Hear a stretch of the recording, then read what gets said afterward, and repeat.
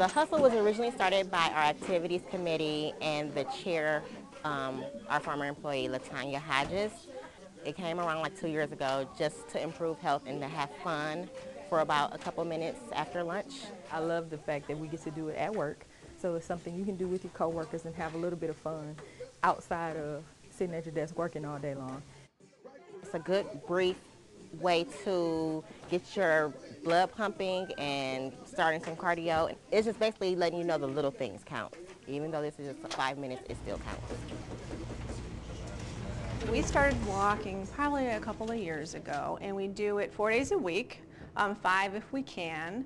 We kind of wanted to start the whole thing off by saying that we wanted to get some physical exercise in the day because nobody really has time to do it before or after work. We only walk probably about a half an hour to 45 minutes if we're not going to eat or if we grab an apple while we walk too. And actually we're going to do some um, more physical things. We're trying to implement a Fitness for Life program through the Employee Satisfaction Committee.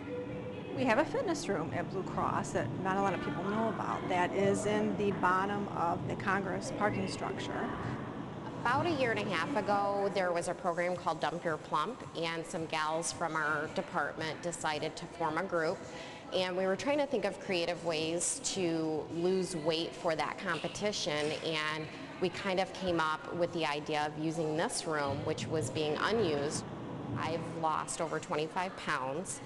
I feel amazing. I have a lot more energy, and I've actually noticed that when I don't work out, I miss it. Well, actually, um, I started in February, and it's free and it's convenient right after work, so I go almost every day. Uh, we usually work out Monday through Friday, about 4, 4.30, depending on the day. All the people in here are like my friends, so, you know, we laugh too while we're working out, so I enjoy working out with them.